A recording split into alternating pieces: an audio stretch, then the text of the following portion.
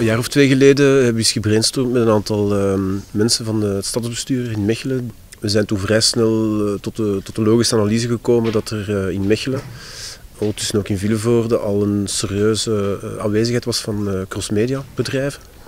En dus die crossmedia sector als case genomen om te kijken van hoe kunnen we die, die actoren uh, clusteren, kunnen we die laten samenwerken, zowel virtueel als fysiek. We zijn ons te weinig bewust van het feit dat wij hier van Mechelen tot aan het Noordstation uh, in Brussel een, een, een media uh, valley hebben, hè, om het nu maar zo eens te zeggen, die ja, bij, de, bij de vijf grootste mediagebieden ehm, um, van Europa uh, hoort. En dat vind ik wel goed, dat dat nog eens zichtbaar gemaakt wordt, dat we ons ons daar, bewust van zijn. Ik denk dat de steden misschien in de samenwerking al wel verder zijn dan wij als Hilversum, Utrecht en Amsterdam.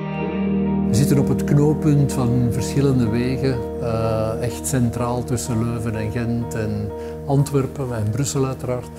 Uh, en we vinden dat, uh, vinden dat echt de beste ligging dat we, dat we kunnen hebben.